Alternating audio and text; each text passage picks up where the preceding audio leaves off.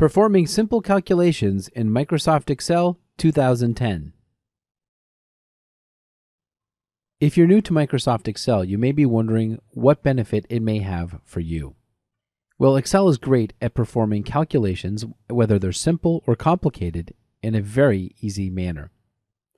Now, if I was just using a calculator, I would take all the numbers that I wanted to add, put them into my calculator, and get a total. However, in Excel, we simply type them in, and then I click where I would like my formula to go, and click the Auto Sum button.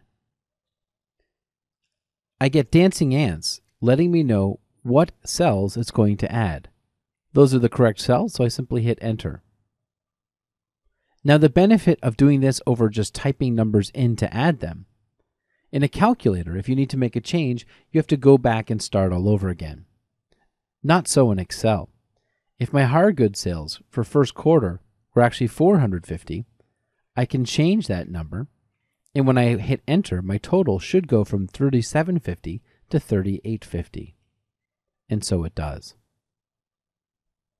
Also, we have a nice benefit in Excel that we can click on a formula, use what's called the fill handle, drag it over, and it copies that formula in a relative way so that it is adding each column of data.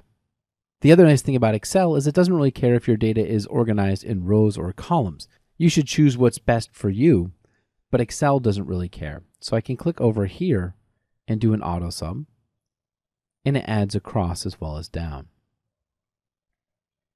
Once again, I'm going to use my fill handle.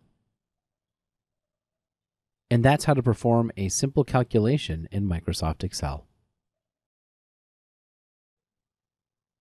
For much more about Excel, check out our session, What is a Spreadsheet and Why Do I Need One? An Introduction to the World of Microsoft Excel.